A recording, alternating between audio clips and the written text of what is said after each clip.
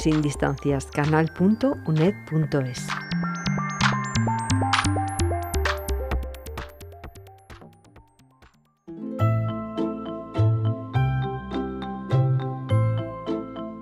Leticia Garcés, pedagoga, fundadora y coordinadora de la plataforma formativa Padres Formados en Navarra. Muy buenos días, Leticia. Buenos días.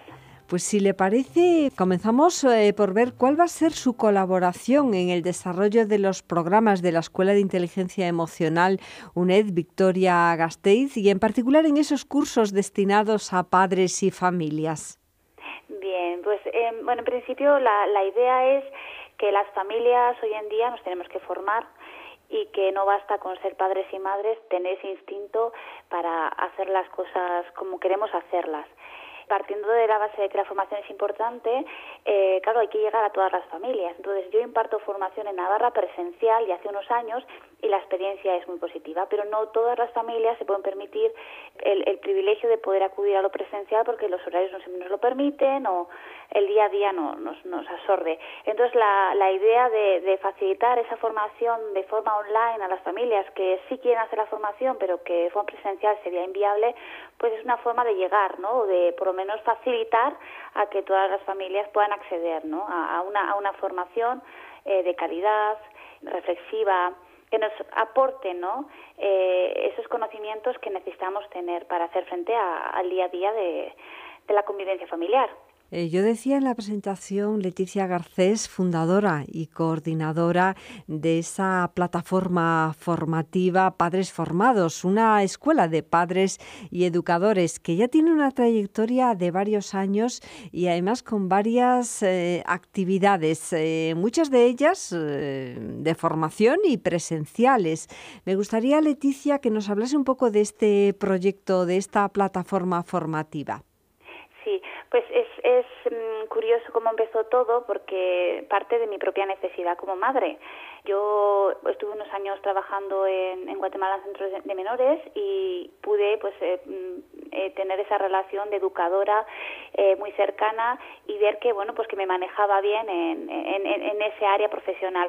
Pero cuando fui madre me di cuenta de que mis hijos, con quienes tenía que tener un vínculo afectivo y un apego seguro y con quien tenía que convivir, pues realmente me, me, me ponían frente al espejo y me hacían ver mis propias dificultades.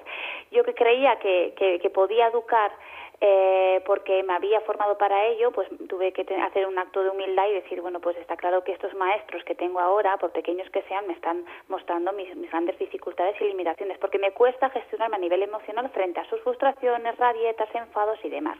Como lo que había en mí no me gustaba, y, quería mejorarlo, eh, lógicamente mi capacidad para eh, mejorar o, capacitarme o, buscar mis propios recursos, pues lo puse en marcha.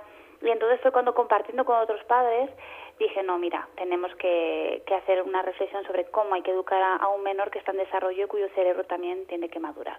Así que en el salón de mi casa fuimos invitando a padres y madres y pues ahí empezó a crecer el proyecto y de repente pues al cabo de los años pues hemos ido creciendo y hoy en día pues hay más de 20, 30 grupos de padres y de madres formándose de forma continuada y dándole importancia y valor a lo que es el crecimiento personal como padre y como madre para poder entender las necesidades afectivas de un menor.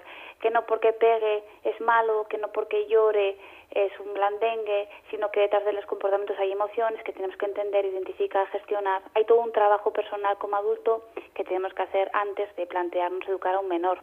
Desde esa responsabilidad, formarnos como padres y como madres es importante y es necesario.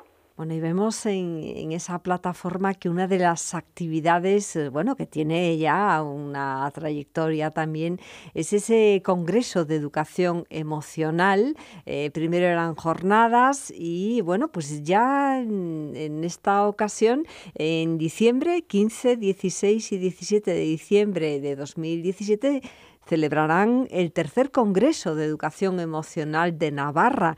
Me gustaría también que nos hiciese un comentario y, por cierto, se va a celebrar eh, físicamente en el Colegio de Médicos de Pamplona.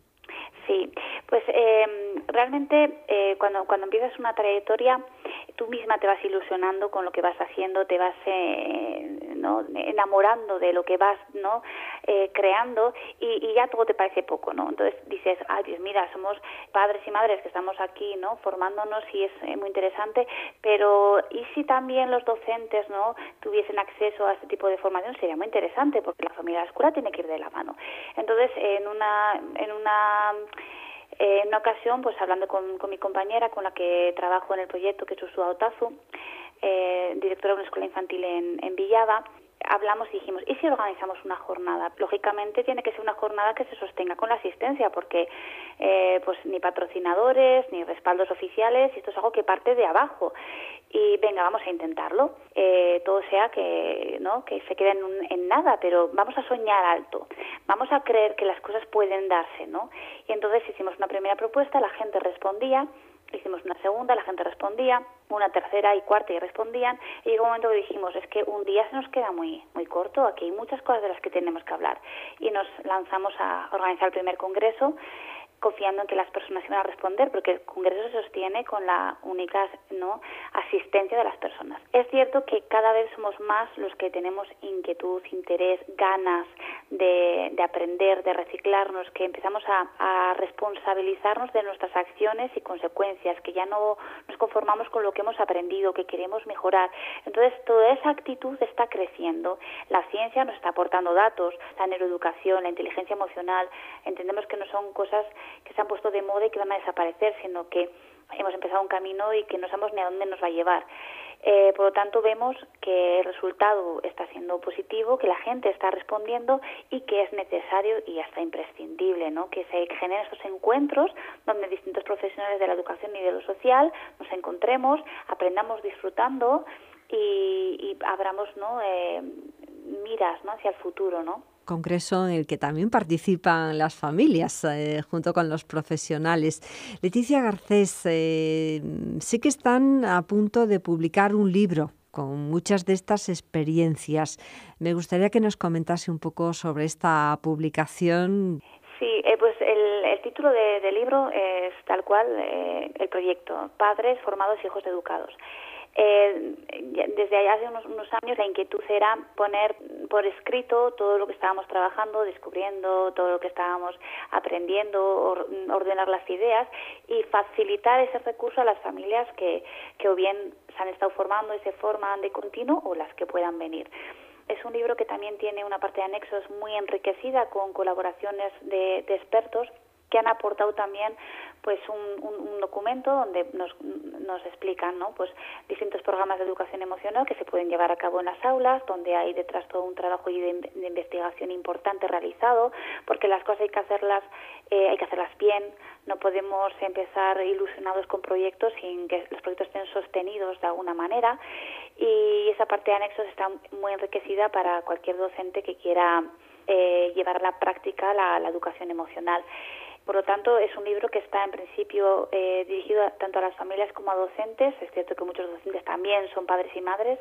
Y es un, libro práctico, pero a, su vez eh, riguroso en cuanto al contenido, porque he intentado recoger conceptos eh, sólidos, consultar fuentes, investigaciones, para que cada cosa que yo digo, en lo que yo creo, también pues tenga un, un respaldo ¿no? de, de otras personas que están también trabajando en ello.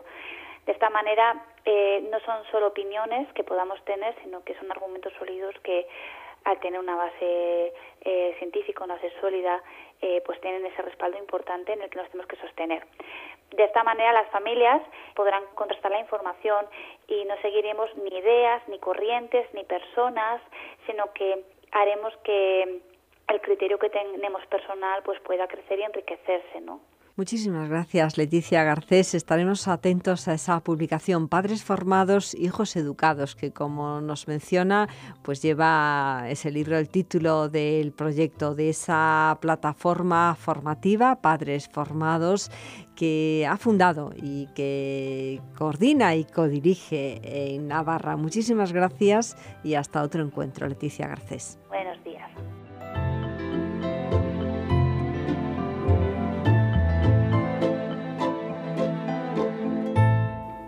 Hemos hablado con algunos de los profesionales, pedagogos, psicólogos, orientadores, docentes que forman parte del equipo de la nueva Escuela de Inteligencia Emocional de Victoria Gasteiz. Una escuela que inicia sus actividades en este curso 2017-2018, una iniciativa de la dirección del Centro Asociado de la UNED de Victoria Gasteiz y del Laboratorio EDUEMO, Laboratorio de Educación Emocional de esta Universidad Nacional de Educación a Distancia. Sin distancias, canal.uned.es.